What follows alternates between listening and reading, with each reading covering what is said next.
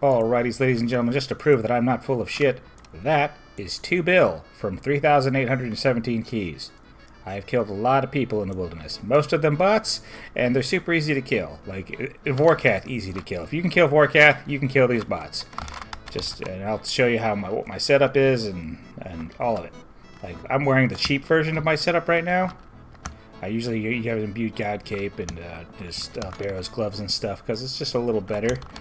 But yeah, if you look at the risk, oh yeah, go ahead and see PK skull active, and we protect item. The only expensive thing I really have on me is my Curse Scepter, so I'm risking about 500 to 600k because of the ether in the weapon itself. I will, I will lose that if I die, but that's not a bad price to learn how to kill bots. Not a bad price at all. And then um, another thing you're going to want to do is you're going to have you want to have your F keys set up. So like my, for my F1 is my inventory, F2 is um, prayers, F3 is magic spellbook, F4 is my, my spec bar, and then F5 is my equipment itself. So I can go through all of these really, really quickly, really fast. And then you can add, download another plugin called uh, key remapping, where you can have your F keys assigned through to your 1 through 5. So if you like playing like World of Warcraft, where you use your 1 through 5 and your WASD, like I can use WASD to move my camera around. It's good stuff. And uh, that's that's pretty much the setup I use, right? So yeah, this is this is what my inventory looks like. I like to have my seed pod, royal seed pod in the top left. I got my super combat, ranging, and stamina with my four-way switch to range right here. See, switching isn't hard. Just do a little four-way click up and down, snake it a little bit, and that's all you gotta do. And look, I even messed up a little bit there. Not a big deal. You don't need to be fucking perfect at this. Not at all. And then I got a blighted anglerfish, blighted karambwans. Oh, and I don't need this ring of dueling. ah, whatever, it'll be fine. It's, it's the, pretend this ring of dueling is a blighted karambwan, right? Right, put the range stuff back. Got house tabs to teleport to my house. And then into blighted entangle sacks and blighted teleport sacks. Super easy stuff. And then if we go to these are the prayers I have. Rigor and augury are pretty pretty fucking amazing. If you're if you have 70 defense and higher, uh, you probably should get those. These are the spells I use. I use mainly I use uh, entangles and blighted teleport sacks to you know do the get the job. It allows me to entangle and t and teleblock people, so that's always great. And see if you look here, this is entangle right here, level 79 spell, and then teleblock is right here, level 85 spell. With these two spells, you can you can kill people sub 30 wilderness pretty reliably. Pretty reliably. And then yep, spec 4 level 4. So if I go to my if I go to my dragon dagger, so I click 1, and I equip my dragon dagger, and I go 4, and I click the spec and then I click on them. And then bam, I'm specking them out. And usually what I'll so what, what I'll really do is the sequence is turn on so like let's say I have all my prayers on, right? They're all on. So I'm in my mage, they're praying against mage, and I see mage, right? So I, I, go to hit my 2 button, click Piety, go to 1, click DDS, go to 4, click Spec Attack, and then I click on them. And I can probably still hit them off Prayer. Pretty easily. Pretty easy stuff. So that's that's how we use prayers here. And these are the quick prayers I have on. I always have on when I'm going to PK Spindel, I always have Protect Item, Preserve, Pray Range, and Augury. That's what I always have on whenever I enter that damn cave. And then we already talked about the spells. This applies to Entangle Sacks and Teleport Sacks. I don't use any of the rest of this really. Because I'll use the uh, built-in spell. And we'll go over, then this is the spec bar. I always use long range. Always, always, always, always, always, always. Forever. For everything. For, for, for raiding, for, for, for Slayer, for PKing, everything. Long range. All hail long range. Alright, let's go. And then five, we'll go over the equipment real quick. I, you only need the I'm wearing Swamp Bark, so if you have the head, uh, chest, and legs, your entangles will last three seconds longer, about, and that's that's that's great. That's like having a barrage sub 30. So you can you can it allows you to really nail them down, and it's super cheap gear. This stuff is cheap as hell. I have sets of this. Uh, God Cape, free cape. You can upgrade to Imbued God Cape if you want to increase your risk by 200, 200k. I personally do this, but you don't have to. So I'm just going to use a super cheap setup, so it's not a big deal. Glory. Glory's great. Great uh, Tribrid item. Dragonstone Bolts E. These things are ridiculous. They allow you to punch through range. range prayer.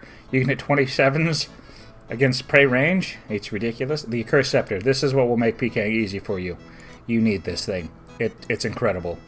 It it uh, it's a charged item. So the the main thing that's hard about PKing is using your spell book, like spamming your your your spells on somebody constantly is uh is gonna give you carpal tunnel, and it's the most complicated part of PKing. It's definitely spamming spells from the spell book.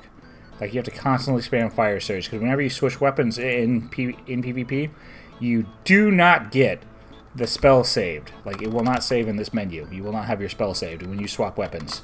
Like let's say if you were casting Ice Barrage with your Ancient Staff, and you went to your Dragon Dagger, and then you went back to your uh, your your Ice Barraging weapon, your Ancient Staff, the, it would not remember the Ice Barrage. It's only like that in, P, in uh, PvP. It's not like that in PVM. Super annoying, and because of that, I use the Accursed Scepter. Uh, it, it allows you to not have to worry about that. You can put out a damaging mage spell without having to constantly give yourself carpal tunnel from the spellbook. It's great.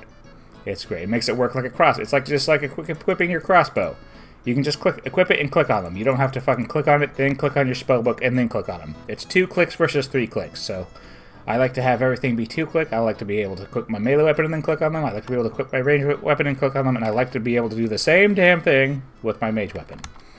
Pretty straightforward. I feel like that's not a big deal. I don't think it would ruin PKing at all, or can't make the wilderness a hellhole if they did that. Maybe it would. I don't know. But uh, that's what. But the Accursed Scepter exists. So what are we complaining? What What are they doing? What are they waiting for? Why are we doing this? Anyway, back to the gear.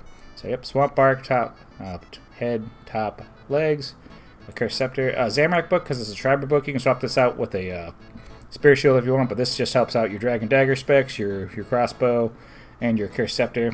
Rune Gloves, because they're just, they're, they're, they are worse than Barrow's Gloves. You should use Barrow's Gloves, but if you're still like worrying about cost, this will save you 60k. And then I use Fremennik Sea Boots. They're free. You can use Ghostly Boots. You can use Mystic Boots. All your boot slots are going to be cheap, super cheap. You can use Climbing Boots. It's whatever. Fremennik Sea Boots is kind of a combo of all those things I just mentioned. And it has range accuracy on it. Love Fremennik Sea Boots. They're dope.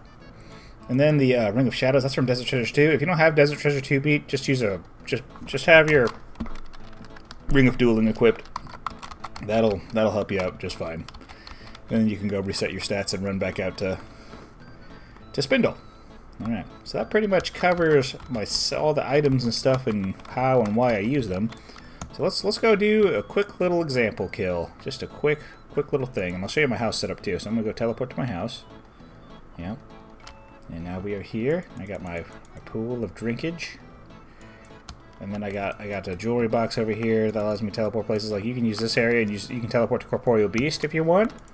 Or you can use um, use this one. This is the one I like to use. Just left click Carrallanger and the obelisk. So you just want your teleports close to your home portal teleport in.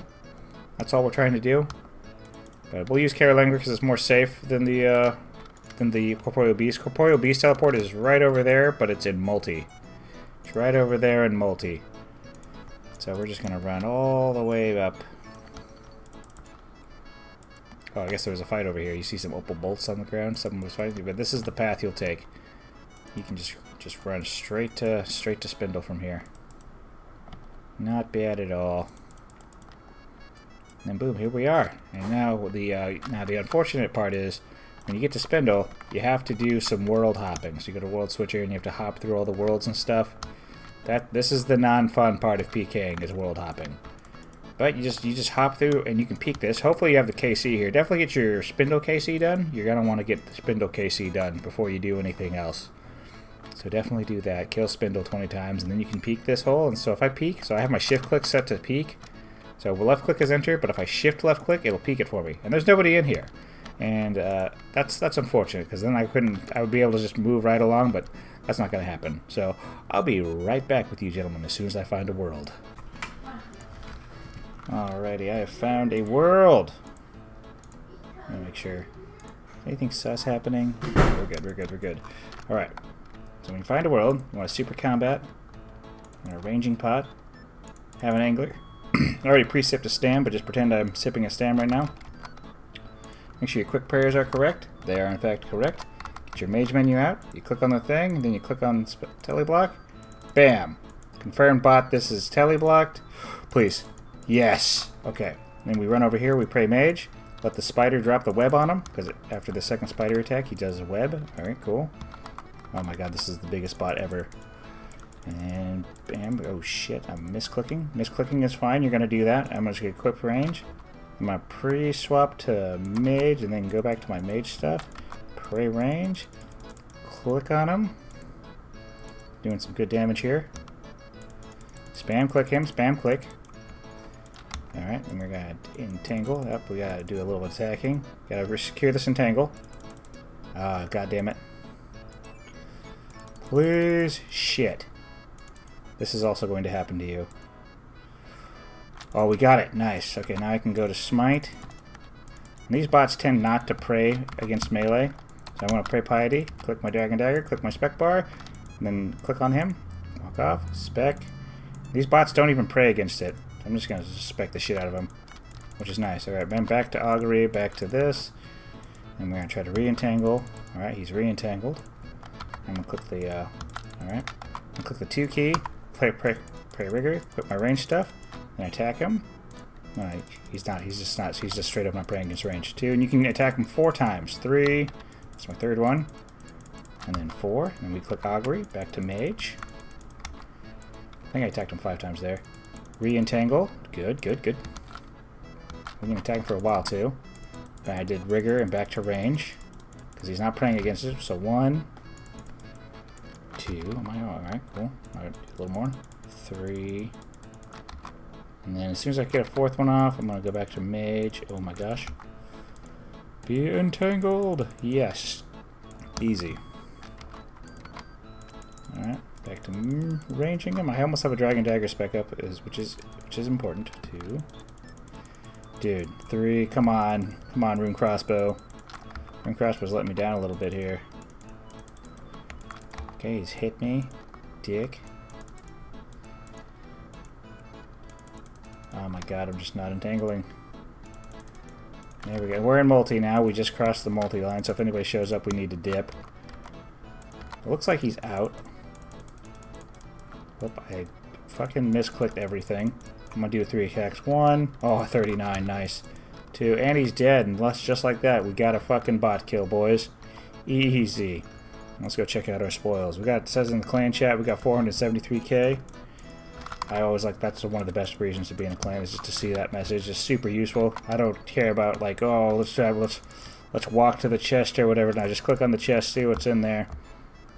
Bam, we got money. Look at that, money in the chest. We love to see it, bank it, and move on. And then you just rinse and repeat, and just do that 4,000 times, and you too will have $2 billion, boys. All right. Thanks for watching.